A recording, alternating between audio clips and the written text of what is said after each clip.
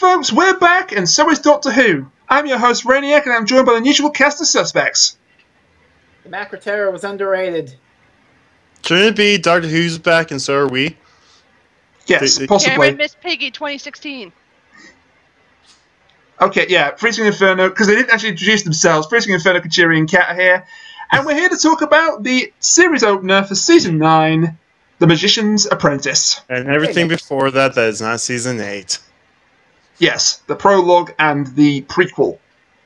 I didn't watch either of that, so I'll let you y'all talk about it. Okay, well, there's very little to actually know, but we will talk about it. So the prologue is basically a, a one and a half minute clip of the Doctor on Karn talking with Ohila, or Ohila, played by Claire Higgins. She's in the episode as well. She's the lead. Is- Is that the same lady who was in Night of the Doctor? Yes. Okay. And they're just having a conversation about, as we find out later, somebody the Doctor has wronged in the past, and uh, you are you are embarking on, a, on an enterprise that will lead to your own destruction. Yada yada yada. it's pretty vague, and of course now makes perfect sense. Mm-hmm. And the preview, which was the Doctor's meditation, which Kuchiri was going to go and see, but had to pull out, unfortunately. Uh, not the first time. Um, Yeah. Oh my god. no, but it's- Ignoring it- that, uh, You said In not uh, a- theaters throughout um, the U.S., I'm assuming the UK too, they had uh, the 3D version of season eight's finale, the two-part finale. we didn't get that. And and oh, you guys didn't get that over there? Okay. oh, that's weird. No, they re- Uh-huh, th- they released they released the prequel uh, for free on Facebook. Ah, okay. But see, if you went to the theater and watched it, they had uh, eight-minute uh, prequel to this episode that we're about ready to talk about. Basically, the doctor is trying to meditate, but he has a severe case of ADHD, and he keeps on doing random things to keep himself away from actually meditating Yes. like dig a well, you know. And this whole time he's uh, with a guy named uh, Boris or Horus. Boris. But Boris. Yeah. And uh, Boris is like his companion episode, and he keeps on telling him, "You said you was going to meditate. Oh, but have I shown you this magic trick? You know that Yeah. that kind of stuff. he can't do it. yeah, he just do can't do it. Do what again? The- never the- do never do that actually. Oh, so so you want me to do my uh, Capaldi? Okay. no. No, she, she said don't do it again. But uh, No. I want you to do your Capaldi like I want a third degree burn on my vagina. wow, Kinky. Okay. I think there's no one um, response to that. Hang on, I think there's no one response to what Kat just said. wait, what? so, Don't, don't play it again. God damn it, phone. Uh,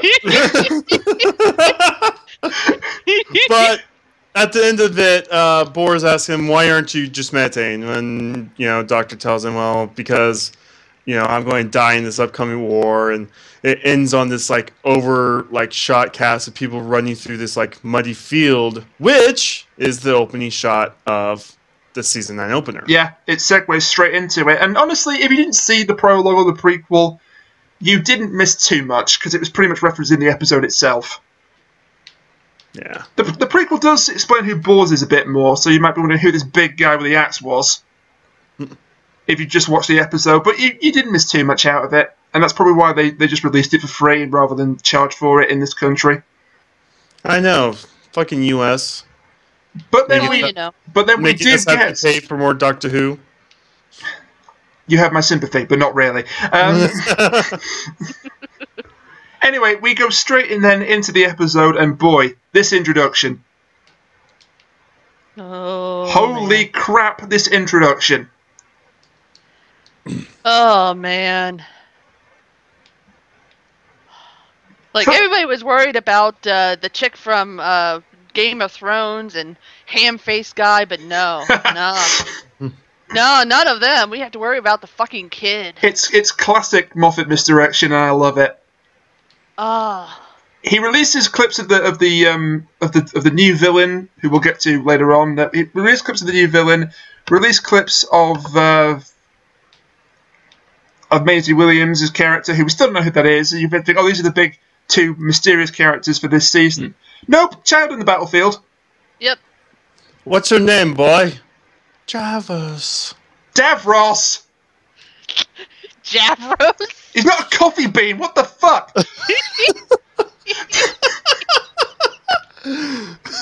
By the way, if you had me having uh. dropping the first F bomb of this review, you win the pool.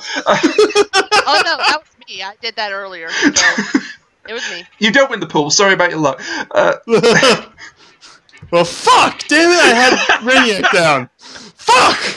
Shit! okay, okay, okay. Can you imagine if that's what, Motherfuckers! Can you imagine Okay, that's now what we are Fresno done cursing. Can you imagine if that's what Fresno came Fuck. back to? It was what he came back to. Brilliant. Okay. so the hand mines then. What a good concept. Oh, oh, okay. I, I'm sorry. I had to duck out for a bit. We, were we talking about the intro? Talking about the Yes. intro and the, and the hand mines. No, no, no. I can't. I, am sorry. I can't. You've got a it. story about the hand mines, haven't you? Uh, not really. But can I mention the clam drones? Uh, are we at that point yet? Uh, it's be- the start of the episode. Yeah, so yeah. go on. Go on. Okay, so there's a line in the intro where like uh someone mentions the clam drones, and uh, well, have have we gotten to the twist yet of of the thing Yep. of where the Yeah. spy Yeah, is? Kuchiri messed it up because he called him Javros. Oh, okay. So I'm I tried to do a brisk action and say Davros. oh, How does a okay, D become a J? We told you not to do that. okay, okay, okay, okay. So bas- so basically, Kuchiri let the cat out of the bag. Okay, so I I can spoil the, the Why?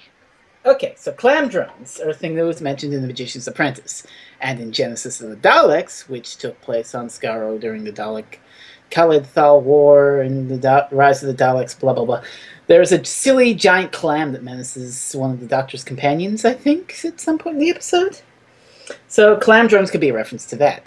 And, and, and also in that episode, uh, the Doctor accidentally nearly steps on a landmine, which is, you know, an actual landmine. There aren't any, like, Pan's Labyrinth hands with eyes that come out of the ground and grab Harry Sullivan's leg or anything. That's purely Moffat deciding that he's going to make the streets of London run yellow with the piss of children again, so.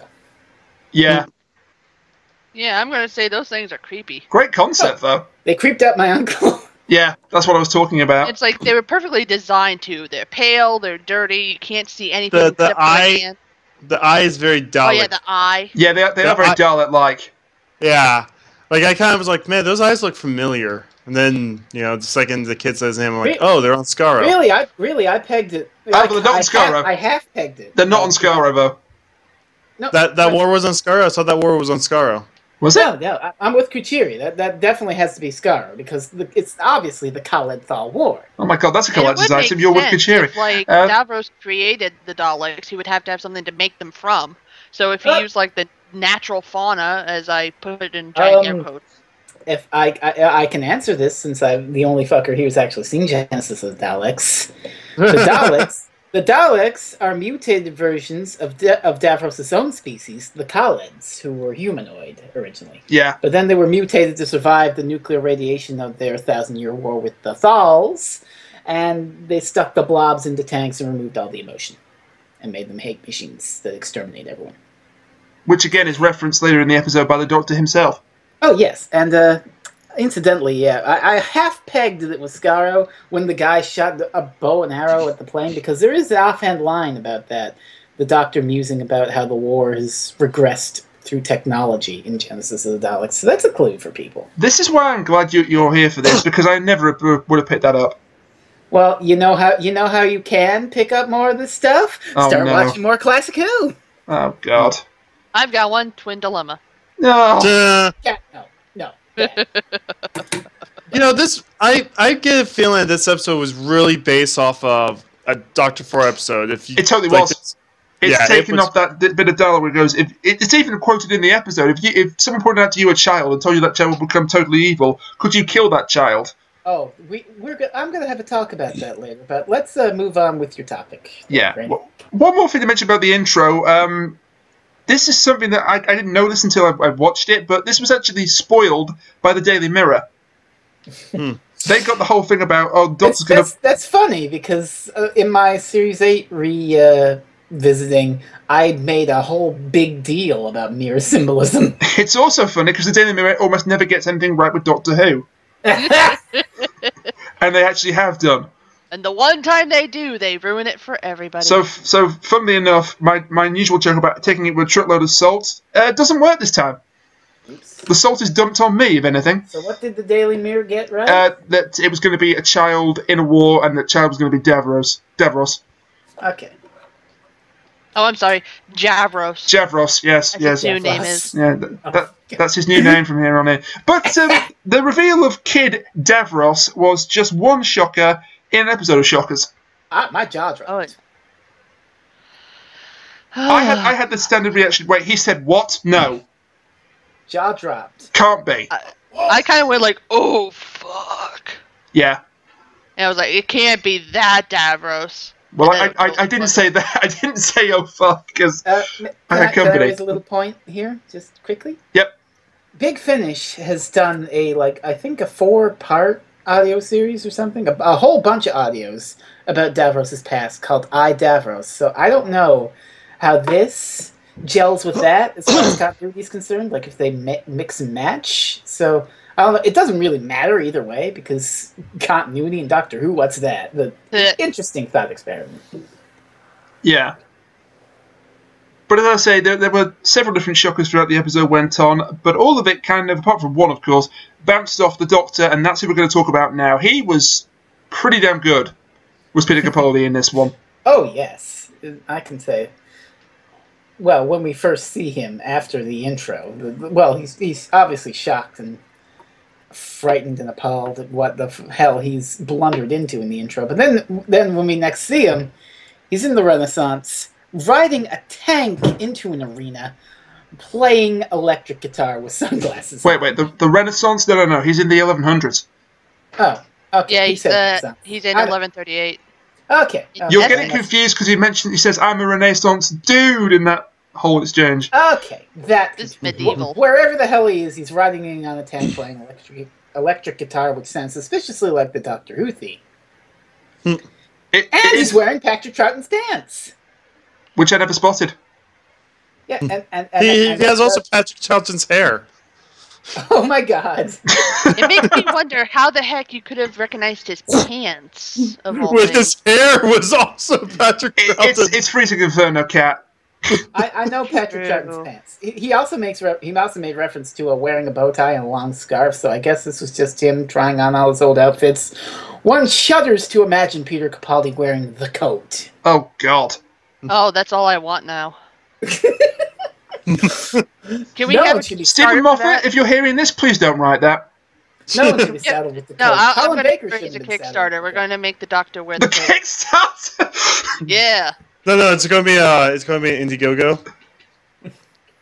Jesus. Get out of here with that. Fiverr. If you give me five bucks, then I'll make sure the Doctor gets. Anyway, Rainiac, what did you think of Peter Capaldi in this one? I think he acted his socks off.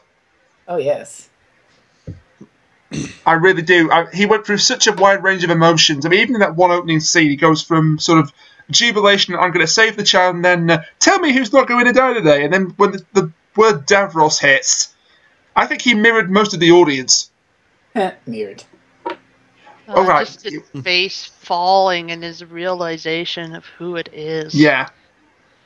Uh, this man, this man has to be one of the best doctors I've seen yet. Of the new doctors, that is. It's almost like he goes like the through the five stages of grief in one episode almost. And it's, He it's does like deny. He's denying it, and then Denial, runs- bargaining, acceptance. yeah, and at the very end he accepts it. Although I think acceptance layer. are going to happen in the next episode, but we'll talk about that later. Yeah, actually, we might be we might be getting to acceptance later. Yeah, we we're kind of skipping a part with Clara here. Yeah, there's a, there's a reason for that. But uh, the, going back to the tank entrance, uh, Steven Moffat had described it before the episode aired as his most outrageous entrance to date. Mm, Yeah. Yeah. I guess so. It's I- it's hard not to agree with that. it's it's bombastic and it's ridiculous. He's on a and I love it. tank in the Middle Ages, playing the Doctor Who theme on the guitar It's beautiful. and making Correct. jokes about fish. And fish. And wearing Patrick Troughton's pants. We we get it with the pants. God damn it. It's very important. He's wearing Patrick Troughton's pants. Although one my thing I will say about the Doctor, he wasn't in the episode that much Not really. No. compared to normal. Yeah. That's probably why I th- I've said this in our chat earlier. I feel like, yeah, I know this is two part, but I feel like this was twenty minutes of one episode. Oh, here we go. of- What? Twenty minutes? What? Uh, I'll go back on to more of that later on with why I think that. Oh, wonderful! So it's going to be hanging over our heads for the rest of the review. Um, dun, dun, dun, Well, because well, the thing is, we haven't talked about the planes yet. We haven't talked about Missy. We haven't talked about Yeah. Clara. Yes, we're- we're getting. we're to getting to all that when we talk about I Missy know. and Clara. yeah. well, well. Anyone else got anything to add about the Doctor? Because I think we've pretty much covered it. Uh, Uh, Peter Capaldi can really play the guitar. Yeah, that was genuinely him. That was pretty awesome. I thought, no, he's obviously just miming it, and, and someone else is playing it off stage, and they're just making it look it's him. No, it was confirmed in the back, back behind the scenes uh, video they did on YouTube. Really him. Was it a real tank or like a prop though? I don't know about if it was a real tank or not. I, I think they wouldn't get away I with think a it real would be tank. too heavy if it was a real tank. So Yes. Yes, I, I think you're probably right. But he wasn't. He wasn't a, in a band at one point. Apparently, Peter Capaldi. So that's probably why he's so good. Oh, he's yeah. like Christopher Lee, And he's really but good. alive. Oh, Oh no. oh, I miss that guy so much. Mm. We love you, Christopher Lee. Yeah, rest in peace, buddy. Anyway, trying to move on from the somber tone there. Uh, he played a couple of songs on the uh, on the old guitar. You've mentioned the Doctor Who theme, I think, already. Mhm. But also Pretty Woman by Roy Orbison, and of course Mickey Hey, Mickey. Or Hey Missy. Yeah, you, you gotta say it right. Oh, Or it's- people are gonna be like. Mickey, what is the name of the song is about? Mickey. Hmm. I've not- always known it as Hey Mickey. Yeah, so. but it's it's Mickey. That's an it's not By good. Toni Oh, Basil. You're wrong because I'm American. Ooh! She's about ready to declare war on you. It wouldn't be the first time. Right. Yeah, well, I'm Canadian. We burned your White House down, so suck it. You burned our White House down, then you. Maximum sass. Alright. Right, moving on. You win this time. You win this time, Canada. moving on to uh, another major character then, Clara. Yay. Clara is uh, interesting this episode. I, I, I, I, I have been watch, rewatching Series 8 and writing about it, as I said, so I've, I've gone on this whole goddamn tangent about how Clara became sort of a dark mirror of the Doctor. Like, you know, flatline with the lying and all that. uh, da, da, da, da. Now, here, she's sort of like the Doctor when the Doctor's not around, because she's sort of taking that role, using what she's learned, helping Unit out and figuring out what the hell the planes are doing.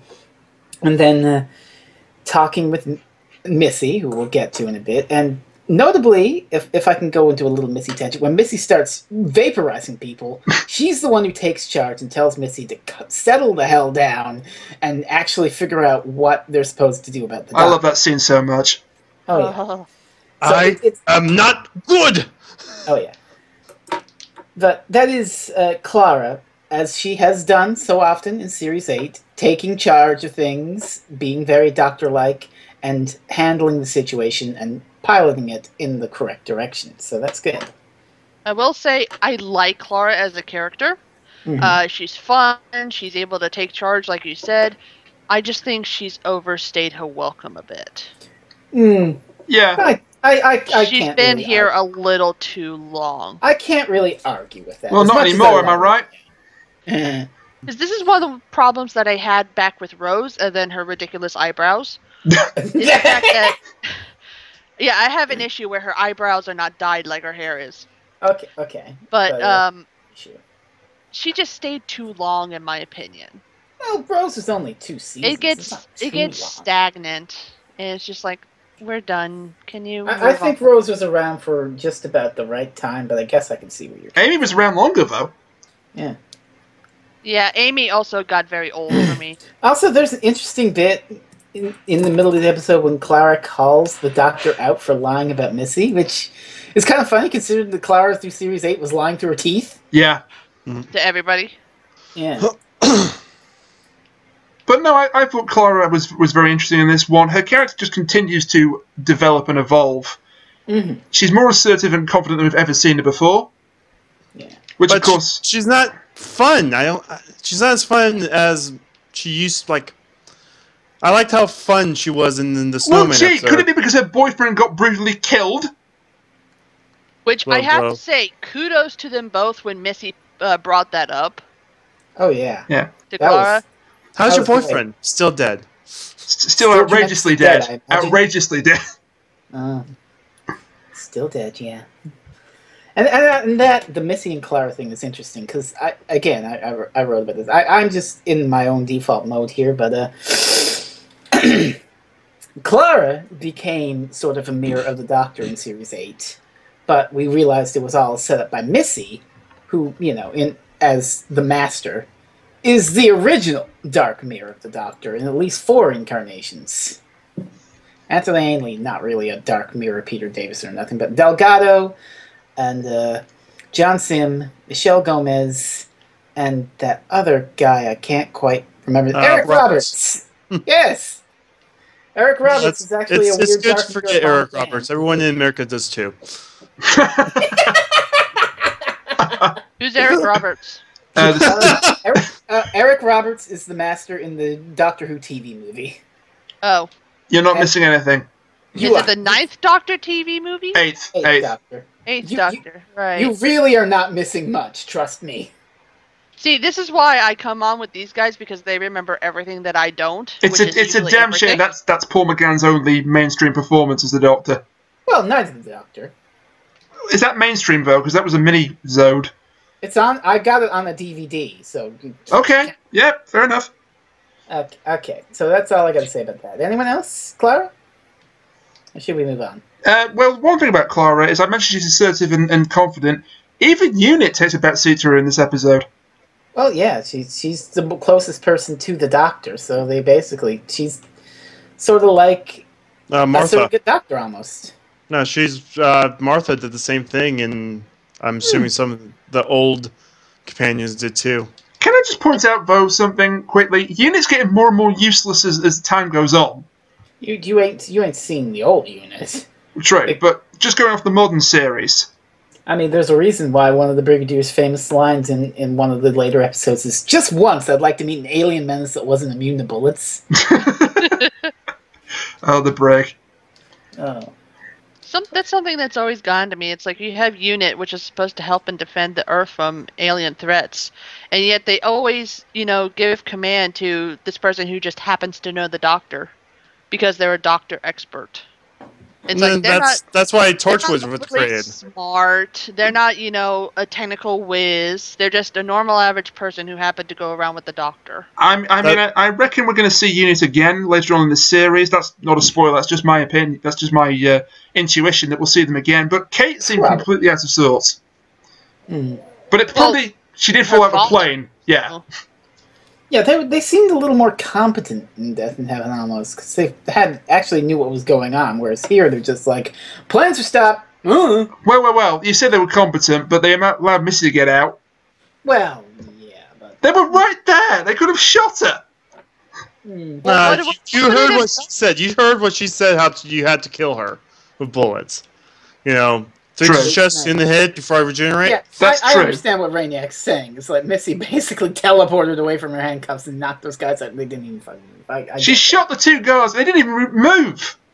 Maybe she had them hypnotized already. That's Maybe, That's yeah, all I, I- that's I- all I got. I don't mind But that. we're, ta- we're not talking about. We're not, no, but, um, the point is that Unit was rather out of sorts, and even when I sorry to go on to Missy, but when she's she's disintegrating the bodyguards, they don't even react. Missy even comments on it. Oh, I'm, I'm glad to see you brought spares. Well, you do hear them yelling in the background and things. Yeah, but they're not firing at her. It could have. Well, because they're waiting for have Clara's Kate- order. You also have Kate in the background go- Saying, "Don't shoot like, her," Don't yeah. fire, dare fire. Plus, these are unit people. They must be trained in some part. Because I mean, you don't see the Secret Service. Trying to be uh, expendable, you mean? I think. Wow. Well, that's the unit. That's the unit in general. Well, here in America, that's what the Secret Service is. Yeah. They're basically a group of men who's, or in women. I don't know if there's actually women or not, but they're a group of people who their sole purpose is to take a bullet for the president. Yeah, no, they are women. They're a, they're lady uh, Secret Service officers. I don't know. I don't. I'm American. I don't know. You're, you're you're in you're near the capital. You should know this. You're near. Yeah, I'm like an hour away from the capital. If- I don't even know. If you see Se- Secret Service, you're too close. yeah. no, that's, that's a pretty good point, actually. Okay. One last that's- thing to That- about if you see Secret Service, you're too close. If you see Secret yeah, Service, they're going to put a that's bullet what in the you. bodyguards were there for. They're Clara's Secret Service. If you see They the Secret Service, they're going to put a bullet They in you. even, they even escort her out of the limo, like. So, Yeah. Yeah, I, I can see where you're coming from here. One last thing about uh, Clara, then her chemistry with uh, Peter Capaldi uh, still as evident as ever, but we don't get much of it. No. But How there is a reason for that. Missy. That's, Yeah. That's interesting. Oh yeah. my gosh, that was the best. That's going to be interesting for later. Also, Clara confirmed to have made out with Jane Austen. Yes. or Sexual Dr. companion confirmed. The dialogue was so good in this episode. Anyway, we want to talk about it, don't we? So let's do it. Missy, Yay! Oh, Oh, Hey, Missy, so Missy. happy. don't I understand? I think Kat wants to talk first about Missy, so go ahead. Go ahead. Yay, Missy! That's it. Yes. I, I said most of my stuff about Missy and Clara with the mirror talk, but what's interesting is Missy and the Doctor because they're really playing up the friendship angle. Like they're saying their friendship is older than human civilization, and well, it's kind of a fucked up friendship when you really think about it. It basically amounts to a well, in their, in her Roger Delgado incarnation, fucking around with the Doctor and trying to take over the That's Earth. That's by our terms, though. We don't really know what the Time Lord terms Exactly. are. Yeah, it's, it's No, the thing So is, they were childhood friends, and one of them just went insane. That's Yeah. it. That's Yeah. their story. hmm But they're still friends. They've always been friends, even when they've been trying to kill each other. That's the whole point. That's Yeah, why. that- That's why Tennant guts was fucking destroyed whenever the Master decides to not regenerate. That's the tragedy of the, of the whole character of the Master. Yep. Is But I will say, Missy was so much fun in this episode. Oh, wasn't she, Oh yes. Her coming in where she used the "Hey Missy" line, uh, her talking with Clara where she's like, "You go, girl." The tele after teleporting to where the doctor is, and she's like all loopy. Oh, I love Missy so much. Yeah, she she said like five things in a row. One of them being, "I've known the Doctor since he was a little girl." One of them which was a lie. Guess which one? The fandom exploded on that, by the way. Oh yeah, I, I, I didn't catch that line on first trans on first viewing. I only caught it on second viewing. But yeah, it's something like, since he kissed the president's wife ever since, since he was a little girl. One of those three was a lie. Can you guess which one? Oh man, that sure is a thing. She's bonkers as ever, but thank goodness for that. But the I thing is, really it felt like She sticks around for a long time. even though she was evil for the first part, it felt like she took the role of the Doctor for the first. Like, yeah, 15 that that, of- that that observation's been made. She's in this episode. She's basically the doctor, except she also kills people for shits and giggles. She's a surrogate doctor, kind of. Yeah, She's the Yeah. anti-doctor. Yeah, she she But does she's become an anti-hero. dark mirror of the doctor. She's a, she's not a villain in this one so much as an anti-hero. Mm-hmm. It's Because like I love that she, so she wants help, but it's clear that she also wants to fuck with people. So like the whole airlock scene, like I guess I'm going to kill you today, and opens the airlock. Just to Today might be the day. well that then I kill you. space. She's fucking. Oh man, and her dancing out in space. Oh, good grief! She's just having so much fun with this, and I love to see that. And even Clara, towards the end, just before the, the Skaro is revealed, is having fun as well. Yeah, she's like, okay, this person kills people, but you know what? I like her. She's fun. Which is strange She considering she killed killed her boyfriend. boyfriend. yes. And, and, and you know, you know what's really great though with Missy? She's got a range too. She's all playful and doctor-ish, except homicidal when she's playing around. But as soon as she pegs that they're on Skaro, she suddenly gets very, very fearful. Oh, her reaction was pitch perfect there. Yeah. It takes an awful lot to frighten the Master, but being on the planet of the Daleks, that'll just about do it. Oh yeah. Especially I mean- since I the last time that the Master and Daleks were together, the Daleks was trying to execute her. Yeah. And then yeah, they did it! Yeah, no, that this is totally the uh, backstory to the Eric Roberts TV movie. Yeah. The Daleks execute the Master, and then the Master becomes like a weird ghost snake and possesses Eric Roberts and takes over his body. What? Yeah, and then he tries to uh, trap the Doctor and steal off his regenerations. Yes. Also, I, I think Missy. happening. Yeah, I think Missy had the line of, of the entire episode. Yeah. Wait, hang on a minute. Davros is your arch enemy now? I'll scratch his eye out. So yeah, um, you got anything? You two got anything to add about Missy? um, we all know that she's not dead.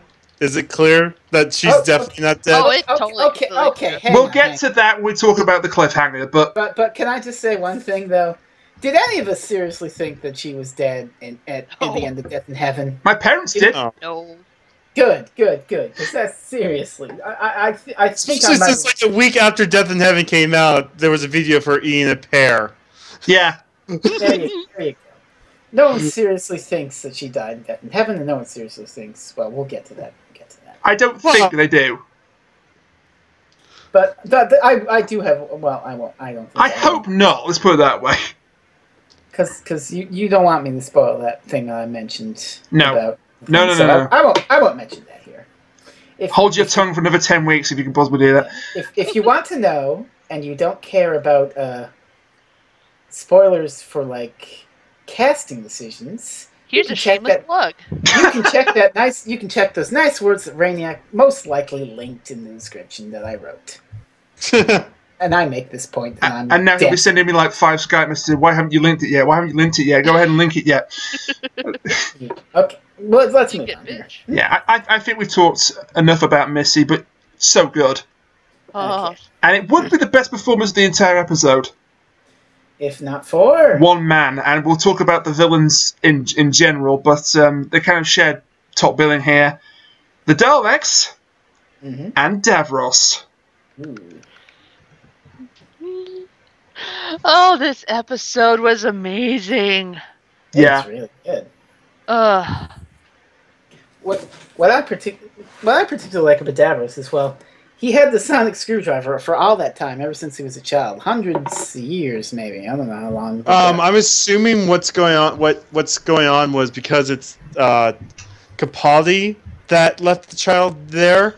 It re it did a tiny rewrite in history, and yeah, future Yeah. Davros just randomly got the screwdriver out of the middle of nowhere. Oh my god, wait a minute, wait a minute, guys. This is Davros post Journey's End, right? uh, yeah. assuming so. And we yes. and we see him technically die at the end of the episode. Yep. What if the only reason he's alive now is because he's got the sonic from the doctor? Well, I'll be God. That that'd be something. That'd be a twist.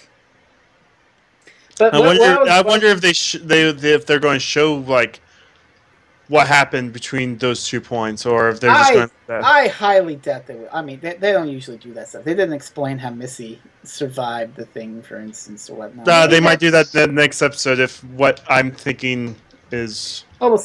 My, my point is, does Davros having a sonic screwdriver improve the Daleks any and his creation of them? Well, I'm thinking, what if he like tried to figure out how the Sonic worked, and he used the technology that he found in it in order to make the you know the chassis for the Daleks. The Oh technology my that's, God. the That's what, I'm, that's what I'm saying. What what if Capaldi giving him the screwdriver did some causality loop with helping him create the Daleks? That would be incredible. That would be incredible. And uh, d- d- what else did I have to say about uh, Davros? I don't know. Like, Uh, Oh, he oh- was really good in this episode. Oh, oh yeah, and, and, and he played back a lot of old Who clips of the Doctor confronting Davros, including one of my favorite lines from Remembrance of the Daleks, the unlimited rice pudding bit. Yes. Yes, beautiful. But he, but the most interesting is when you mentioned it earlier. He plays back Tom Baker talking, debating about whether or not he should destroy the Daleks, and doing that speech about if you saw a child and someone pointed out to you that that child would grow up to be totally evil, could you then kill that child? Now, Tom Baker in that episode obviously meant it as a thing that no, I cannot destroy the Daleks because I don't have the right to do that. And in later incarnations, either he the does Seventh Doc- either the Seventh Doctor or the War Doctor, depending on how you look at it, he deci- he flip flops on that. He does have the right. He does destroy Skaro and all the Daleks. It- it's But sort of the same question that plagues all time travelers and time mm-hmm. travel stories, really, because it's like Yeah. we can go back Hitler and we can fix all this. We can kill Hitler, but the problem is Hitler did a lot more than just you know kill billions of Jews and gypsies and handicapped people.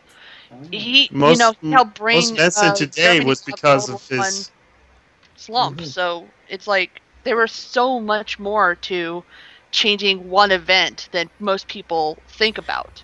Yeah, And this is definitely one of those uh, examples. Yeah, and in the Genesis of the Daleks, one of the reasons the Doctor cites for not being able to destroy the Daleks is that so many people will ally together and work together because of the Daleks. So he'd be undoing all of that good by Yeah. destroying. Plus, But there's now, the fact as- that if the Daleks did something that also helped influence the future, like they accidentally killed one of the worst people who was going to be. Mm, Well, You if never- the Daleks don't exist, the Thals win the Thousand Year War for a start. mm. And who's said the Thals wouldn't be worse than the Daleks? No, the Thals are just Ziggy Stardust people. They, don't do anything. Yes, but in the new timeline that will be created, if the Daleks didn't exist, who's to say they wouldn't evolve into the worst warmongers ever seen? That's true. Uh, but here's here's the thing. Tom Baker said that he didn't have the right to kill that child, but now Capaldi has flip flopped on that, and he knows. It's it's it's sort of a callback to Into the Dalek, where Rusty looks into the Doctor's soul and sees hatred. It's that that's driving the Doctor right now and abandoning the little Davros. Yeah. Two And great that's- performances for both versions of Davros. The little kid actually did very well. That's Yes, real- see, Mm. you can get good child actors. Oh, crap! It's not hard. I, I forget his name, but he actually did really well. Good it's job. Joey. And Joey yeah, Joey, Price. thank you. Uh, well, Thank you. kudos, Joey. You, you did you did good. Good job. But Julian Bleach, Of course. my God, Wonderful. he was born to play this role. No offense to Terry Molloy fans, but he was born to play Davros. Was Julian Bleach? Well, what about Michael Wisher fans? How dare you? Sorry, I've forgotten about him. But um, I love how different Davros is in this episode to Journey's End. Mhm. his last appearance because in Journey's End he is insane pretty much. He's a supervillain. Yep. And here he's more introspective. He's dying. He doesn't. He And yeah, care. as he shows at the end, he's still cunning and still ruthless as he ever was. It's funny because it's, it's still the exact same person playing him, and yet you see these two very different uh, versions of acting from him. That's because Julian Bleach is a fantastic actor. hmm And kudos to the BBC for keeping his return a complete secret, by the way, because usually that would leak out straight away. You know, unlike the Cybermen from the previous season. Well, that wasn't a leak because they showed that in a trailer. Well, It I don't care. to They still shouldn't have put that out. No, they shouldn't have. I completely agree with you. They shouldn't have, but they And did. they also they and there was also reports whenever they were filming, like everyone flipped out because they were filming, um, uh, you know, Missy and the Master, uh, no, Missy and uh, the Doctor, and like all these Cybermen walking down. So Yeah, that too. everyone knew that was going to happen. So But they managed to keep um, Julian Bleach and Davros a complete secret, so kudos to them for that. And I got Yep. chills with his speech at the end. Oh yeah, he, he's not even in control of the Daleks anymore. He's just like, well, kids will be kids. Let me hear you say this just once. Compassion is wrong. Yeah. Holy shit. And and that line that, of the Doctor's, "Why, if I ever let you live." Yeah, sums up everything, doesn't it? Yep. Why did he? Because, And will he? And will he? That's the question. Because for the longest time he didn't think he had that right. But now things have changed. He may have it, or he may believe that he has it. Yeah. Mm, that's that's. We also had the we- return of the Daleks, of course. No, they're Daleks. It is Skaro. Yeah, yeah. I Are love that talk- reveal. Are we gonna? Okay, yeah. Um, now I don't know what the hell's going up with this. Is this is it actually Skaro free from the Time War? Or is it just new Skaro that they recolonize? I have no clue what it is. was Scar in the Time War, or was that just Gallifrey? Oh no, Skaro was it was gone before the Time War. okay. Because well, yeah, it's it's the, trying to piece together what happened to Skaro is really weird. Because the Seventh Doctor blew it up in Remembrance. Of, well, he didn't blow it up. He tricked Davros into blowing it up in Remembrance of the Daleks. But then some of the novels sort of retconned it back into existence because they didn't like that. So it's probably maybe still around for the Time War. And Would the probably would, gets blown would it be created by the second Big Bang? I. Ooh. That's that's a good point. Could I be. don't know though, because if it was already gone in that universe, Yeah. it wouldn't come back. No, we don't know. No, I well, the whole point of the Big Bang was that everything that was restored to the moment that the cracks started appearing. So I'm not sure if this is Time War business or they just colonized a new Skaro or whatever. But well, I hope it's a new Scar because the old Scar used to be highly radioactive, and it made uh, his human companions sick. Oh man, you're you're really dropping the knowledge. now. Yeah. you're talking you're talking about William Hartnell shit now. He's right though. Yeah, because I mean, all that Missy saw was a bunch of buildings, and she immediately identified it as Skaro. However, she was they were like in a deserty area, weren't they? No, So but it's- that's what it's probably Skaro a little was. hard. Scar- Yeah. Skaro was basically like just death. Skaro was just like a big rock. Yeah, but. I'm a saying it's probably a little hard to identify one desert from another. Skaro is a wasteland. It is. So that was also a wasteland and with some Dalek buildings. So it's it's it's up in the air right now. I'm not. I don't know for sure, but I, I would buy that it was it is Skaro back from the time war, and the Moffat has an explanation for it. I'd buy that it's new Skaro. It doesn't really matter. We have a whole Skaro's back. episode to to possibly have that explained. Mhm. So let's not go oh plot hole plot hole just yet. How dare how, how dare you not explain everything, Steven Moffat? You you fucking hack. Yeah, everything needs to be laid out in part one. What the hell is part two for? Yeah, and honestly, like I said before, even though you know this is a planet returning, I would still expect that from Doctor Who, just because of all the other stuff we've gone through. Yeah, that's true. And even Missy said they brought they built it again. They brought it back. No. I don't know. so even it's- she's come up with, with possible theories in her own head Hmm. for what's Should- should- happened. So should we be talking about the uh, climax of this episode? Almost. We've got a couple of characters. I, I was just wanting to mention the Daleks because I think they're Oh on yeah, we haven't four. even talked about the the, the Ham the face, snake. ham face, ham We'll, face. we'll, we'll get to Ham Ham Face in a moment, but the Daleks were back on top form here Oh yeah, yeah. because they had what three minutes of screen time total. and they were still Oh, great. that and you also found out Bors was uh, a fucking uh, Dalek Dalek- That was a huge surprise. And I I have a I, I have a complaint about that though. What? Go Oh, ahead. dear. Um, why send uh, Snake Man out to go look for the doctor if you already had one of your ice sock guys? Because they wanted it? to No. separate the doctor No, I can from explain that. I can explain that. Go on. Bors was not a Dalek, human Dalek, Dalek puppet until after he was bitten by the snake. Oh wow. That too. Using continuity from Asylum of the Daleks where they don't immediately revert to Dalek puppet form after they're converted.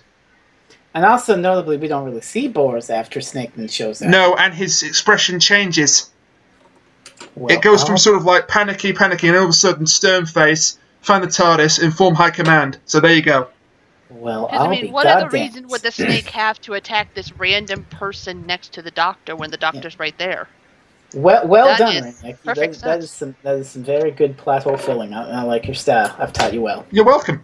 But the, uh, the the Daleks did more in their three minutes of screen time than I think they've done in most of their Moffat era appearances combined. That's true. Plus, And I- there's no, there was none of that. Missy tried to bargain with them. She's like, you know, you need me, you need the TARDIS. We can use this, go all over time and space, and kill everyone. Oh, and you just kill me! Exterminate! Bang! And like they, they didn't take any crap from her at all. They're just like, you know what? No, we're Daleks. Boom. But I think Missy planned for that. But we'll explain that when we get to the finale. Mhm. Uh, what else was I going to say? Oh yeah, the different eras of Dalek. Love that as well. The '60s Daleks, the uh, the new series Daleks, the Dalek Supreme is there. A special Power weapons Dalek. Dalek. No, Excellent. no Power Ranger Daleks. no, there was one. There was a scene where you saw one of the five. It's like the Dalek Parliament from Asylum of the Daleks, but done better. There you Thankfully, no, no, no human Dalek hybrids. And then All of a sudden, you see Dalek. Why are you here? I thought you died. He just shrugged his Um, shoulders. Got better. I don't know. he got better. oh Jesus. Hi, Doctor Dick. Um, oh no, it's not Doctor Dick. It's Don, he dies in that film. It's Doctor Monroe. I screwed it up. Never mind. Oh, for Um, God's sakes. Sorry. Hi, Dr. Monroe. Anyway, we want to talk about the best new villain in quite some time Colony Sarff. Really? Damn Best new villain? Oh, he was pretty damn cool. He was cool, but all he did was, "Where is the doctor?" You, you want to know what's really in, kind of interesting? Uh, It's half an old Doctor Who flashback. He says the Doctor is acquired, which is kind of. It might be a reference to the William Hartnell story, The War Machines, which is really really weird because this weird computer basically what wants the Doctor, but instead of saying the Doctor is required, it says Doctor Who is required. Yeah. Because I it- have a special love for Hamface. Yes. The way he moves, the way he talks, the way he's he the split Mara's apart. brother. You want the Ah. Mara. You got him, sort of. That's not quite. I forget what Uh, they're see- called. One of you might know. Um, those little two-wheeled segways that are just. Yeah, yeah, no, yeah. I was about to bring those up. Uh, the That's how he got around. yeah, Yeah, I was totally thinking he has to be on one of those. That's why he was so tall.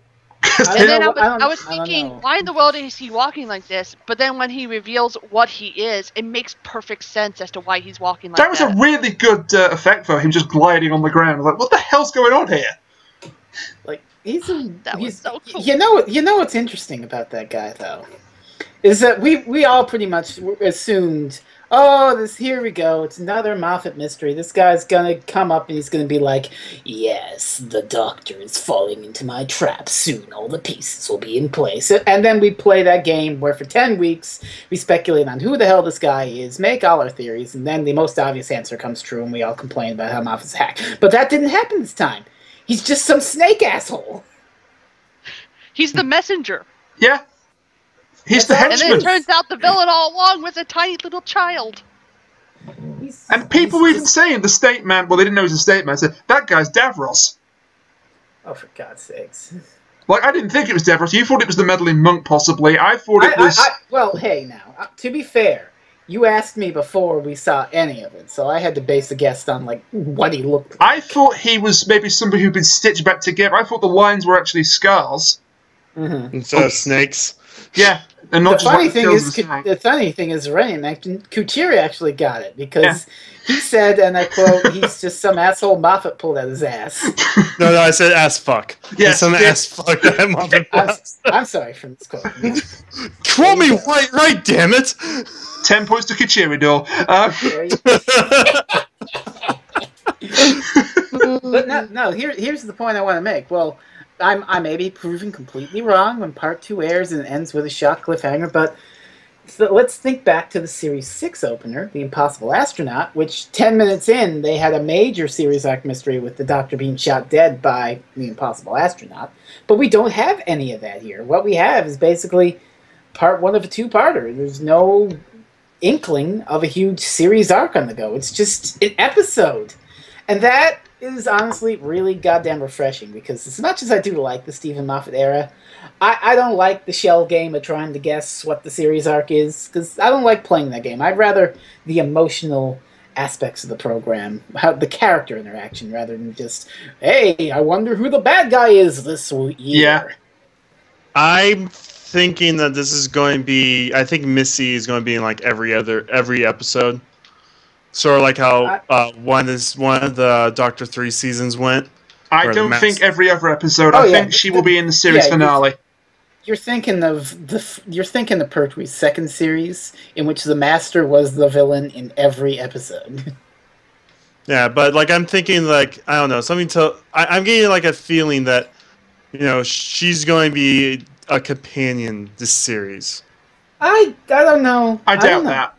I, I got my doubts too, but we'll find out. Major supporting I- I character will- maybe, but not. I will be pleasantly surprised if part two ends and we don't have any inkling of like an ongoing big thing. Like I mentioned, someone saying everything is in order Yeah. or whatever. But something I tells me would- Davros is not be is not going to make it past the next episode. I Well- wouldn't say that. I don't know. I don't know. I don't The know so much.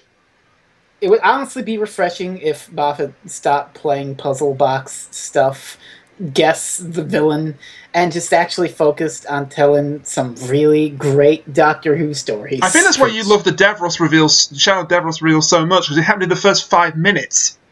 Yeah, there you go. That's, that's it. We dispensed with that. That- Like any other Moffat series, that would sort of be slowly doled out over 11 weeks, like the Missy reveal, which, if you remember, I was pissed off at the Missy reveal Yeah. because 11 weeks of puzzle boxing and cock teasing us, and it was just the most obvious answer. And actually, I, I owe you an apology for that because I was sort of like celebrating in that review. Like, yeah, I called the master. I actually played back a couple of reviews while you were doing your uh, your Series Eight uh, retrospective, your your rewatch. And in one of Yeah. those, I actually say, "Please don't be the master." Yeah, well, well, here's the thing. Dark Water, I was pissed off because of all this stuff. It just basically amounted to nothing. The only thing that saved it was that Michelle Gomez knocked it out the fucking park. The emotional beat saved it. I didn't give a shit about the puzzle box aspect. Mm. You see what I'm getting at? Yeah. But um, back to Sarff then. I'm sorry, I do think he's one of the cooler looking villains we had in some time. Original villains. I, I guess he didn't really amount to much. I hope he isn't lost in the shuffle next week. Well, we'll find out. He does show up in the publicity shots for next No, because week. they were they were making him look like the big main villain. Well, yeah, Yeah, but this, this is for next week, not not this week. So th- there's Moffat hoodwinking us again, I guess. So just well hope done, we reverse I just hope he doesn't turn out to be another Seb, where we think it's this new cool character, and then in the second part he's just killed off. Permission to squeeze. Yeah, all right, that was a great way to be killed off, but still.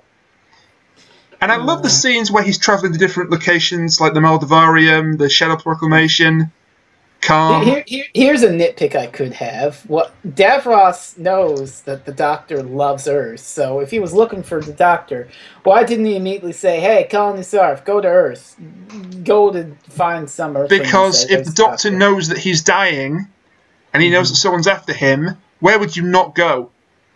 Uh, Where you're gonna well, be he did- found. What? But he did go to Earth. Yes, but that was Davros' logic. Think, well, he's not going to be at Earth originally because that's where I, he'd expect me Yeah, to okay. find That, it wasn't a serious nitpick. That's just something I was No. kind of wondering. It could that's also be the fact that Earth is, you know, there's not really the same kind of stuff that you'll find on other planets.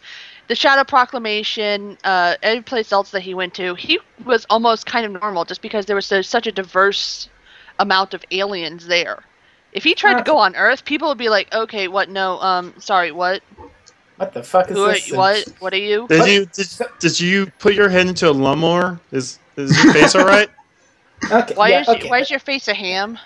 I, I did not consider that. That's a good No. point. Thank you. What about the uh, the CGI for his unveiling? Because I really like that. That's pretty neat. It was neat until you saw the actual snake, and then the snake kind of looked. Where does Moffat get these ideas, though? Look, A snake Um, man. I know a Samara? No, I mean, where does you get this idea? A snake man entirely comprised of other smaller snakes. No, no, no. Here, here, I know I know. There's been some Japanese stuff that's done Snake Man comprised of other snakes. I You're- know if a man can. You're pose telling me with Moffat's a ease. weeaboo now. No, I'm saying I'm saying it's not. I'm It's saying it's a. paddle. I'm saying it's new to Doctor Who, but it's been done in other stuff. And, and I just want to add that uh, a dodgy looking snake, that's basically the Mara's first appearance. Yeah. I absolutely love the fact, though, that when he curls up, you can see the fact that his face is made up of the coils of the snake, and that's what those weird scar-like things. I thought are. they were scars. I thought they were scars. They're He- not he, scars; they're spaces. he played me. coils, and that is just amazing. Nice. Although I Alright. do wonder where the heck the eyes and mouth and nose come from. So are we? Are we about to wrap up? I don't like, think we can ending put this off any longer. That ending. Oh. Well, can, I, can I mention one? Th- can I mention one miscellaneous thing before the ending? yes, please. Because it, it didn't really it didn't really go anywhere. But there there were a lot of classic Who jokes in this one and little references. But the one that made me chuckle the most was the mention of the three versions of Atlantis that the Doctor could be in. Well, I wonder why. No, no, yeah, because th- this is a reference to the fact that in Classic Who they had three different accounts of how Atlantis sunk. Two in the Pertwee era and one in the Troughton era. Now, interestingly, the two Pertwee examples, the demons and the time monster, both had the Roger Delgado Master in it. But the Troughton one, hey Rainiac, what's the Troughton story with Atlantis in it? Um, the underwater menace. The Underwater Menace with the fish people. I'm convinced you're now trying to fit that into every review we ever do. No, no, no, no, no. It's it's even better because the day after I saw it, I got an email from like the thing. The Underwater Menace is confirmed to come out on DVD next month. Oh, for God's sake. Moffat had to know that. He had to know. That's how he snuck that. Oh, for God's sake. All right, cliffhanger then. As cliffhangers go, this is pretty damn big. oh yeah, oh, Missy's dead, except she isn't. Clara's- Clara's dead. Clara's dead, except she probably isn't. And the TARDIS has been destroyed. It's- yeah, Although it that- that's- probably isn't. That's the point at which it strains credibility for me, the TARDIS being destroyed. Missy getting blasted, I can sort of buy she'd regenerate. Clara getting blasted, it would suck, but I could Finally. understand the grim the grimness of it. The TARDIS being destroyed, yeah, that, that immediately sells it as this is not happening, this is being undone. It's a bit hard to regenerate when you've got no body left. Mm, But did you notice how the position she was standing in? She made a little pose whenever she. It's not before she escaped my attention, no. It's the same exact pose she did whenever she got shot by fucking the boyfriend in the uh, finale last a season. Fucking name. His the boyfriend? is Danny. What? Damn it. And, and and y'all and y'all are completely wrong because it wasn't Danny who shot Missy in Death in Heaven. It was oh, the Cyber brig. Brigadier. It was- It was the brig, cyber brick. Yeah, it was a cyber brigadier. But she made the same pose, and she disappeared. Like, yeah, you saw her, you know, skeleton this time, but she she kind of went away in white light, like she did, you know. yeah.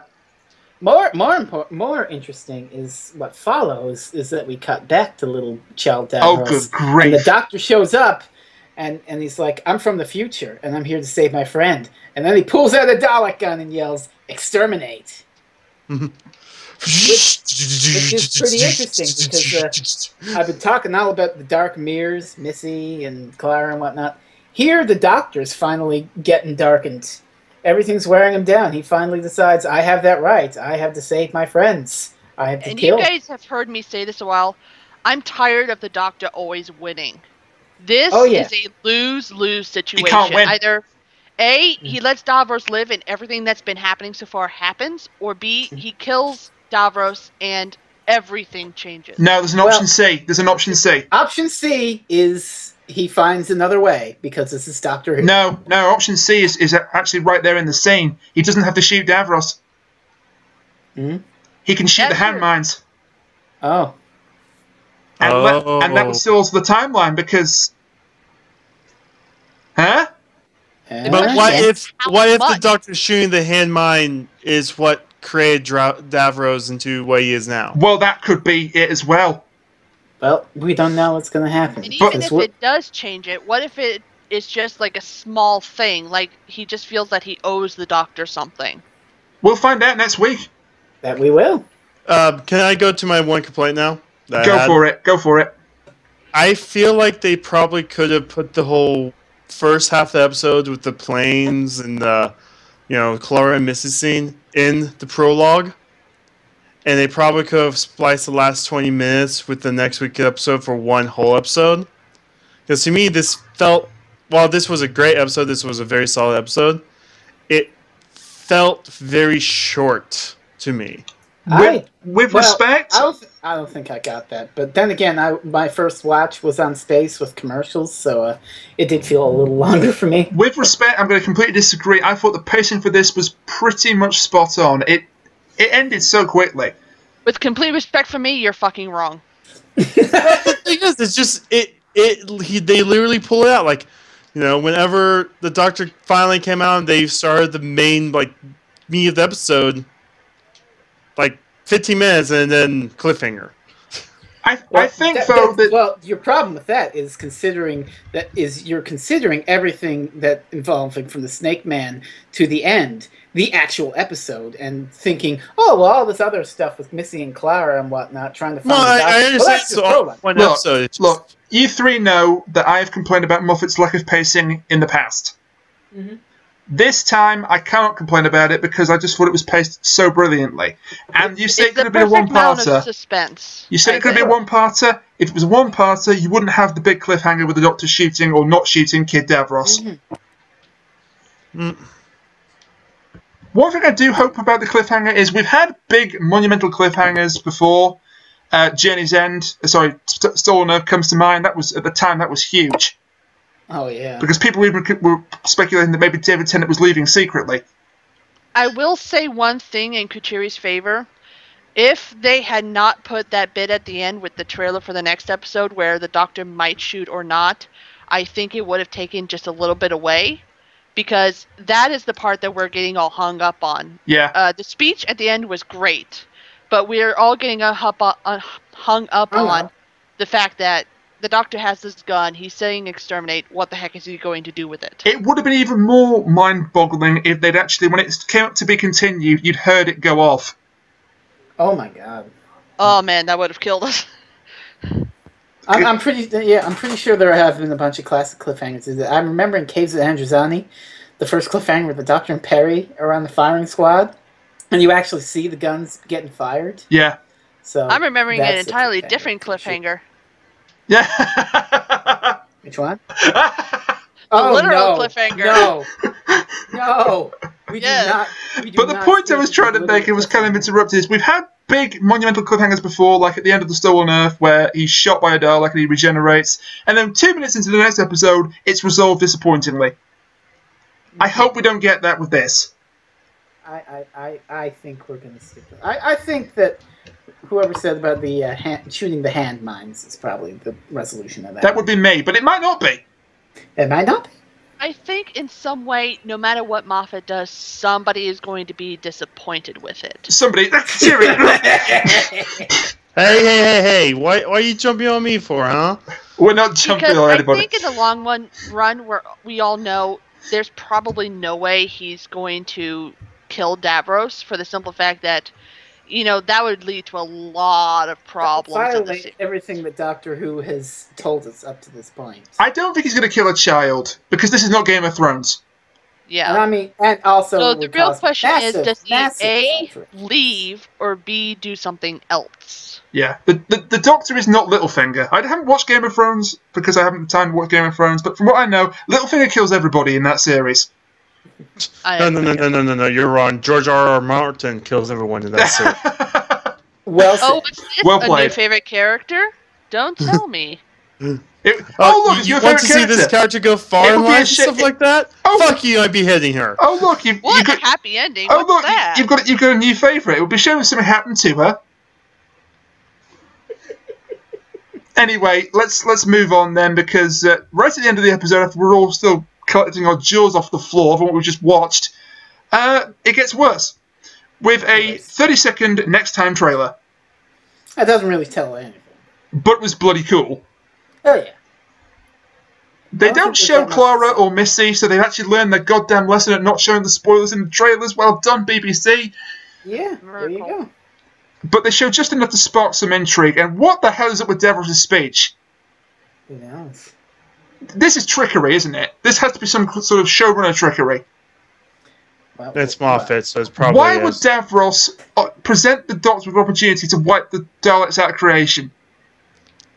Uh, Because he wants to see how far he can break him.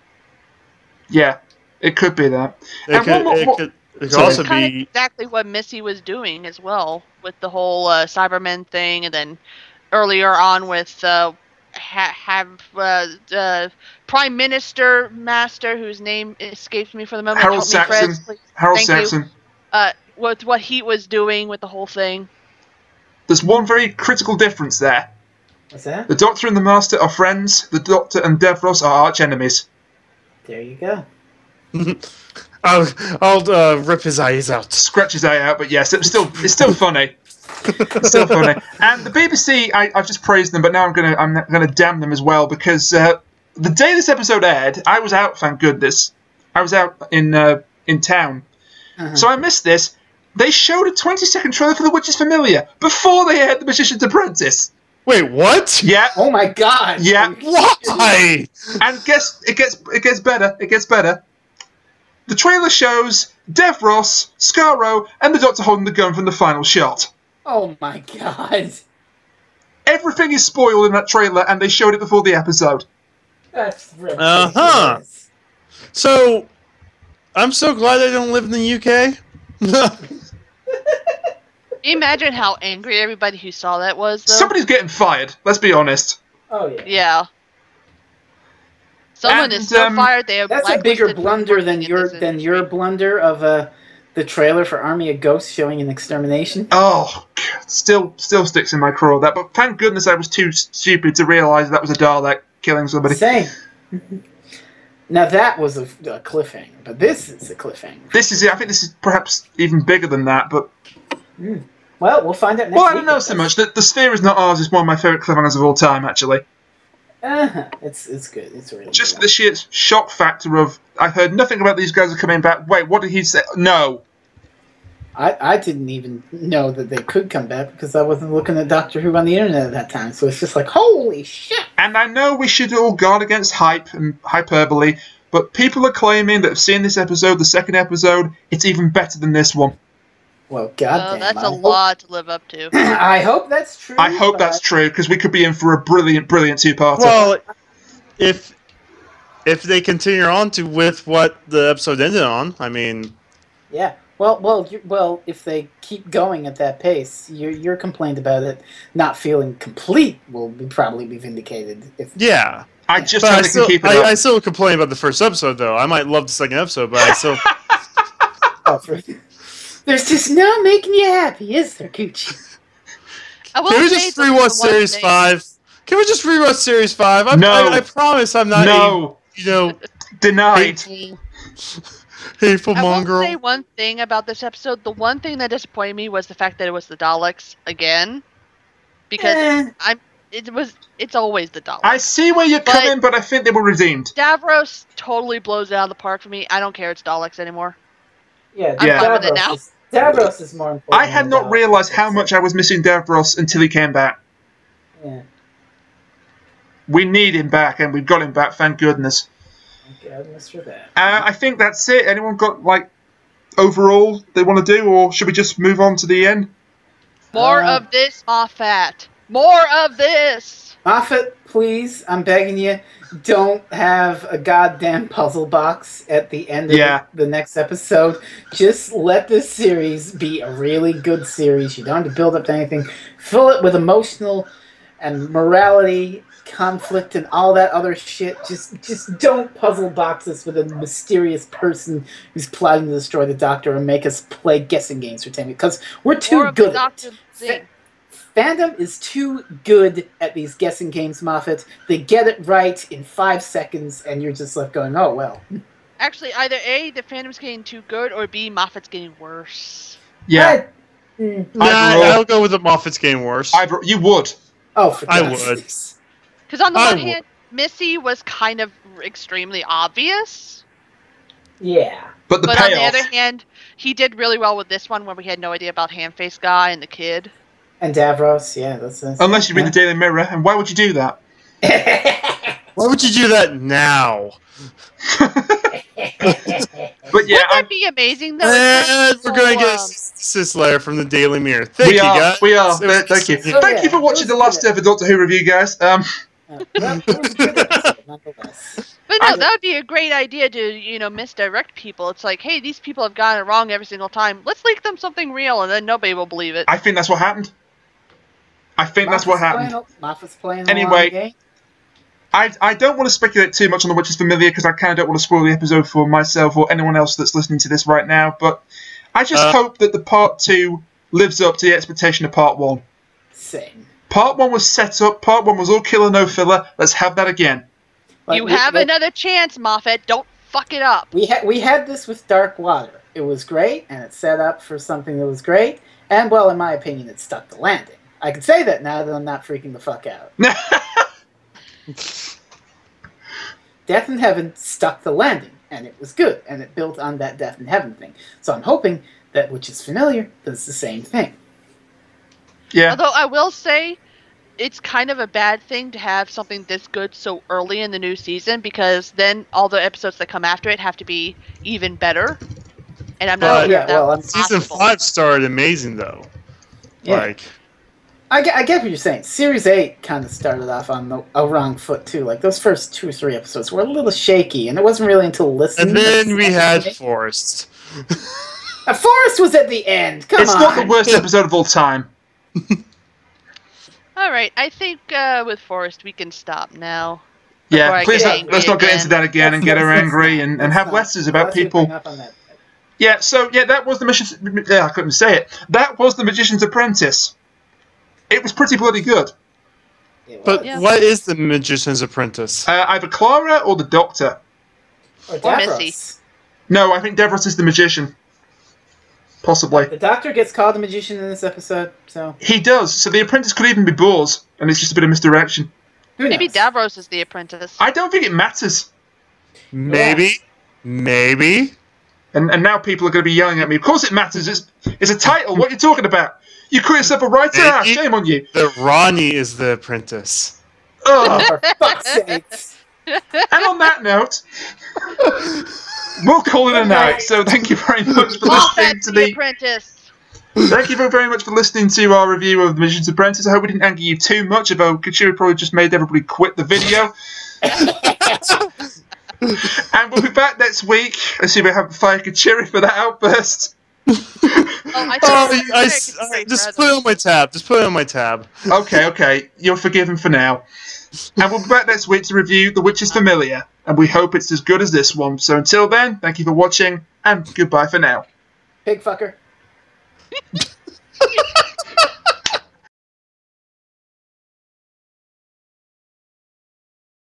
Hey folks, we're back, and so is Doctor Who. I'm your host Rainiac, and I'm joined by the usual cast of suspects. You can never pin it on me. You can never pin it on David me. Cameron did nothing wrong. The Macra Terror is underrated.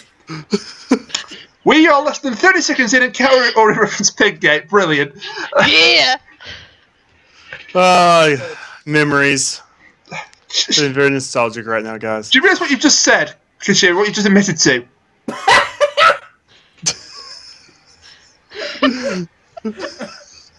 Yeah, we got it live on camera. Anyway, hello, I'm Freezing Inferno, and joining me along with Rainiac are. Cheery.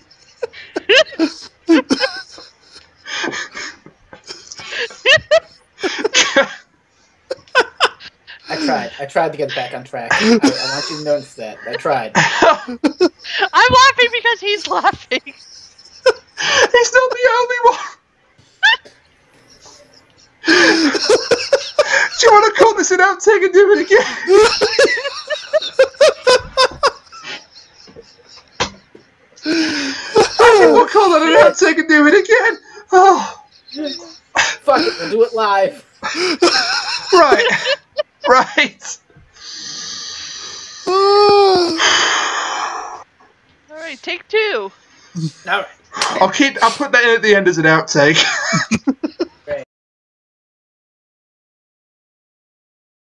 Three, two, one, go.